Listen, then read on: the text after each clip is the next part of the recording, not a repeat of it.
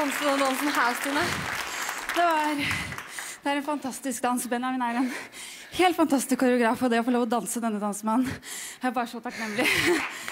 Egor, hva syns du? Jeg vil bare si, Benjamin, de imponerer. Den, den koreografien skal jeg huske. altså. Det var helt rått. Og fy fader, du utfordrer henne. Altså, du lager jo så forbanna vanskelig koreografi. Det er, du tør.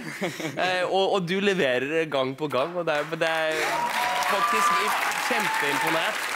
Eh, for, for, og det var så, så vanvittig mye innhold. Så det var jo, jeg, satt, jeg ble nesten fascinert av hvor mye ting som skjedde hele veien. Råbra. Nei, jeg syns vi tok oss veldig fint inn i denne verden til uh, lille, rare Amelie.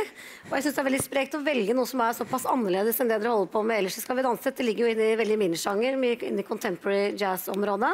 Uh, du har lagt inn ganske komplisert. Noen noe doble piruetter, du har gjort noen krevende hopp osv.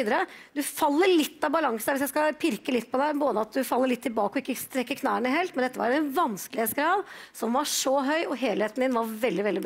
Takk, Tore. Ja, jeg var litt sånn, eh, Når det er showdans, så håper man jo på en måte at nå griper de sjansen. Og dette her er hvordan du griper en sånn sjanse. Dette var så fint. Jeg ser begge personlighetene dine. For meg så ble det litt sånn Edward Scissorhand og Pippi. på En måte. Eh, en litt sånn dark og ensom og ei som elsker alle. Og eh, sånn er jo du. Og det jeg synes det var så fint gjennomført. Jeg ble rørt, og det er fra musikk fra den fineste filmen i verden. Og dere var de fineste i hele verden. Ja, det var veldig, ja, det er veldig rart altså, hvis vi tar eh, kontrasten av det showet vi så før pausen, som var fullt på humor, så hadde vi da et show her nå som inneholdt så mye kvalitet av dans. Den partneringen og det dere gjorde sammen, er helt, som de andre kollegaene mine sier her, det er rått. Altså, det er så høy, høy standard. Og den lille ustedenheten og det ene beinet som kanskje ikke strakk seg, vet du hva, det dreit jeg i akkurat nå. Det var nydelig. Ja. Her ser vi det store bildet.